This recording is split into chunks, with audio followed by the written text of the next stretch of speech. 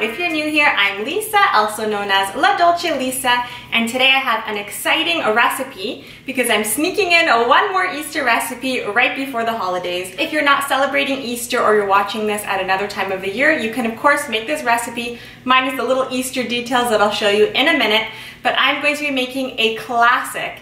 It is carrot cake cupcakes with cream cheese frosting. Carrot cake is one of my favorite things in the world and this recipe is absolutely delicious. It's a very special recipe of mine, so I'm so excited to be sharing this with all of you guys. And you're that much closer to making a delicious homemade carrot cake. So I'll be showing you how I make the cake portion for my carrot cake cupcakes. And then after, I will be showing you how to make the cream cheese frosting and of course how to decorate them as well. So first up is the cake portion of my carrot cake cupcakes.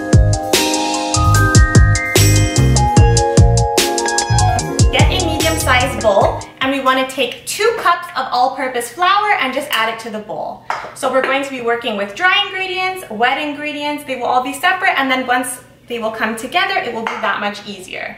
So you will need two cups of all-purpose flour right into this medium-sized bowl. Now in this little bowl, I already have measured one tablespoon of ground cinnamon, two teaspoons of baking soda, one teaspoon of baking powder, and half a teaspoon of salt.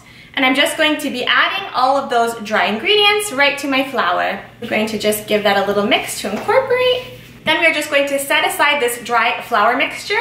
We do not need it right now. Next, we are going to work on the wet part.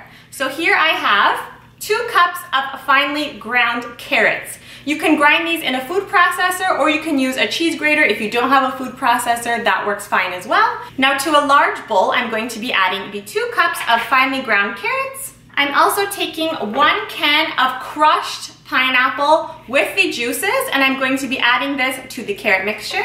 I have one cup of flaked coconut. This is unsweetened coconut, of course, because later on we're going to be adding sugar to our mixture.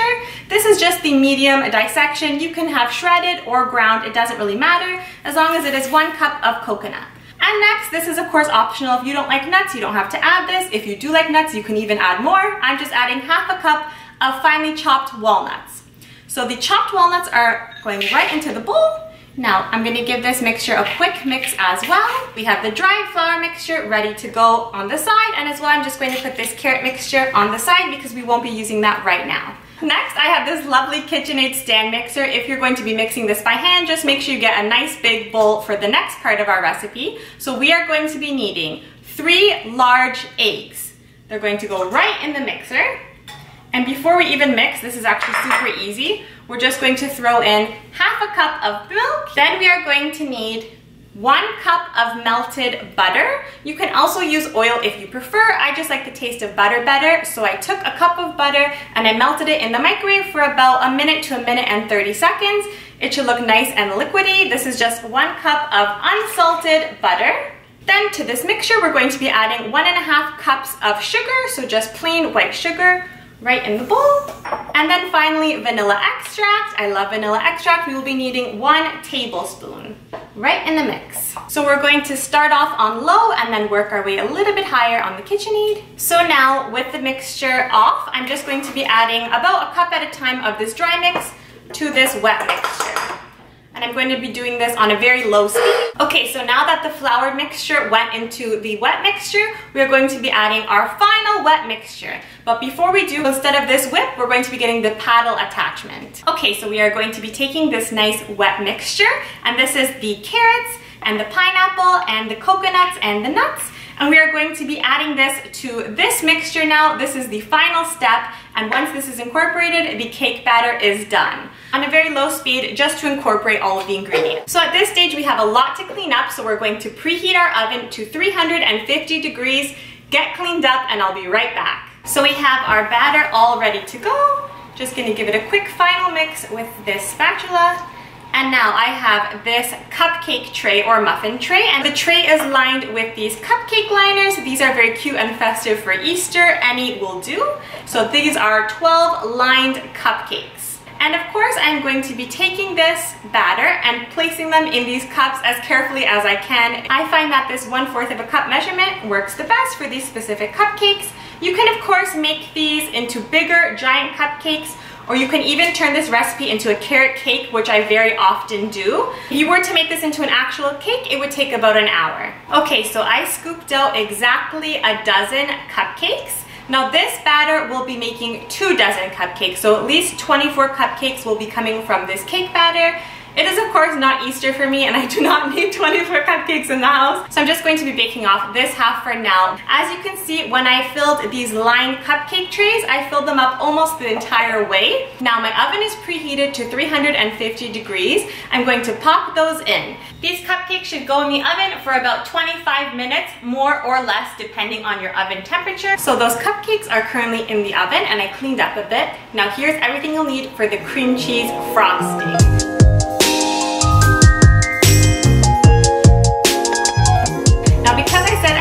Baking off 12 cupcakes or a dozen instead of the two dozen or 24 cupcakes.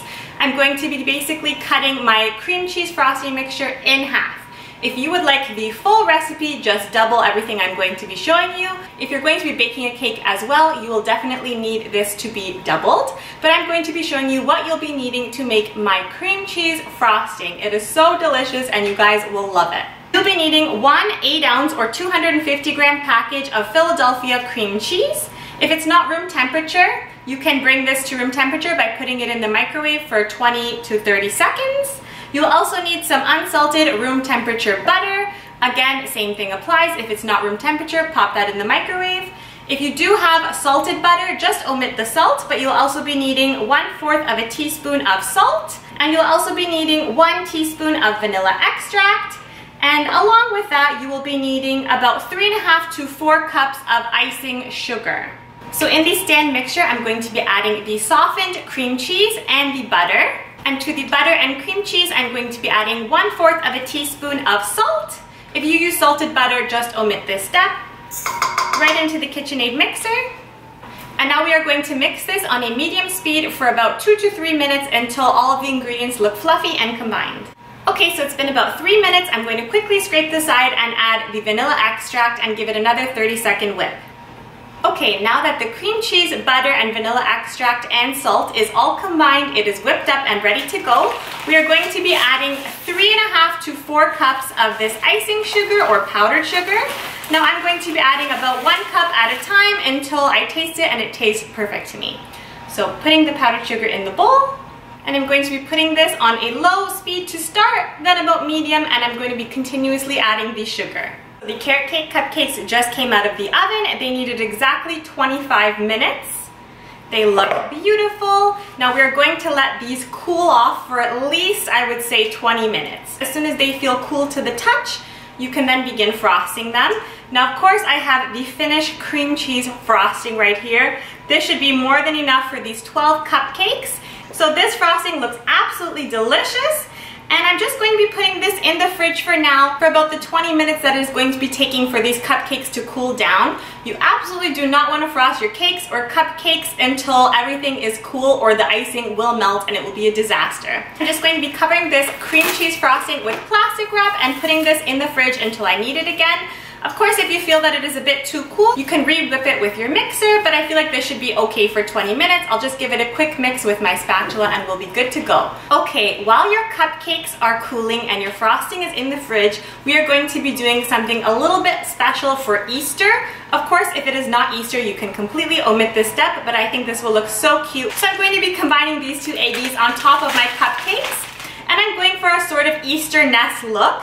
And to help me do that, I'm going to be taking this sweetened shredded coconut. You can of course use unsweetened, but I have this shredded one so that is a little bit thicker and it will look sort of more like the actual bird's nest. And to help us do that, I'm going to be lightly toasting this on the stove top.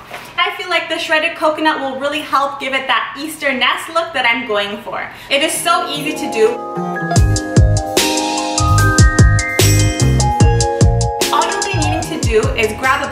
Of coconut and we're going to be adding this to a pan and lightly toasting that on a medium heat. So once you see your coconut start to brown, put the oven on a low heat and continue to mix it and mix it until you feel it is just right, even a little bit lighter in color than you would like. And then quickly transfer that to a plate so that it can cool off and it can stop cooking because coconut has a tendency to burn very quickly. Now when you're finished, it should look something like this. It is, of course, a nice light brown color with still a little bit of light coconut specks. I think that looks really pretty and it will look very much like a nest for Easter. Okay, so all set up, we have our cream cheese frosting ready to be put into a piping bag. We also have the shredded coconut that I lightly browned to look like the nest part. And then in this bowl, the cutest part, we have the Cadbury mini eggs and the Hershey's cookies and cream eggies, which works out very well because we can get different colors and textures and sizes, and these ones are speckled and these ones are not, so I think it should look really cute on top of the cupcakes as well. So right now, what I'm going to be doing is getting this icing bag set, I'm going to be transferring this cream cheese frosting into my piping bag.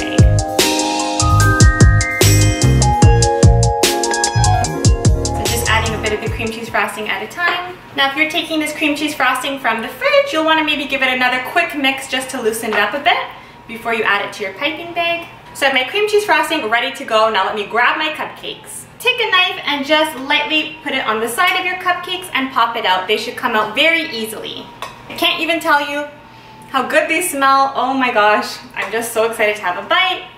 I did cheat and have a little bit of cream cheese frosting and that tasted absolutely delicious. I think that there's no better combination than carrot cake and cream cheese frosting. So my piping bag is ready to go and I'm just going to be doing a very simple swirl on the top of these cupcakes. Now the more you pipe, the better you'll get. and I'm gonna keep piping on top just to get a little bit higher. Don't be too finicky about how beautiful or not beautiful your piping looks because these will look really cute in the end, I promise. With the piping bag, I just piped it in circular motions and to really give it that crowning touch to make it look that much more nasty, I piped around these little dollops of icing. So instead of going in a circular motion, I just went in an up and down quick motion. So as you can see, I just piped little dollops of the icing all around it like a little crown. So there we go, that amount of icing was absolutely perfect for this. Now what I'm going to do is take the coconut, with clean hands of course, and adding that right to the middle. I like the color contrast of this adorable little nest that we're gonna have. If you don't have this fancy piping bag going on, you can even do the coconut around the edges. So instead of making the nest look the way it does with the actual piping bag, you can put the coconut around the edges so that it looks like a nest from the outside as well. It's up to you how you want to decorate these. You really can't go wrong.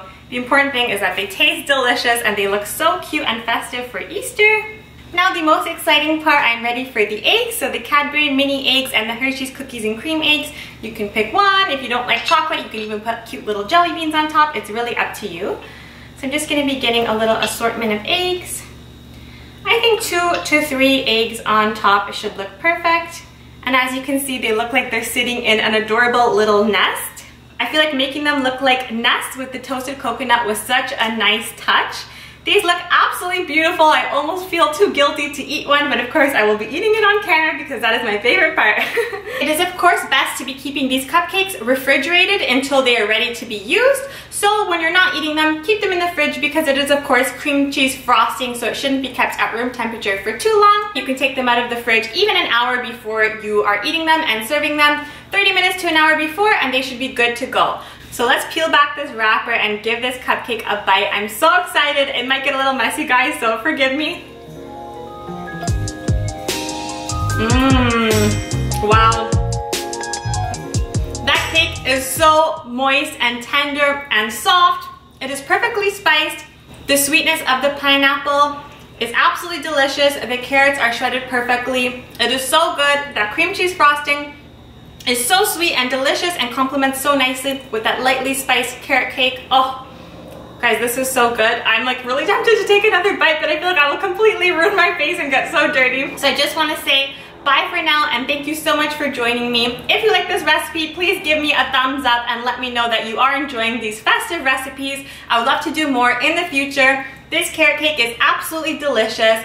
Do not forget to check out my blog post on ladolcelisa.com. I will link it down below in the description bar and I will link this written recipe so you can find the written recipe with all of the precise ingredients and the written instructions. I'm going to be finishing off the rest of this cupcake because I feel like after all this hard work, I deserve it. So I'll see you guys in my next video. Don't forget to give this video a thumbs up if you enjoyed and hit that subscribe button. Every new subscriber means so much to me. So I'm just gonna say bye for now and have a happy.